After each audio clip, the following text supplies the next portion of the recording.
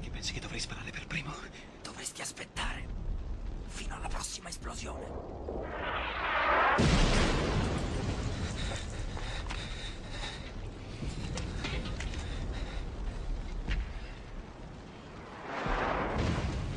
Tu sai sparare.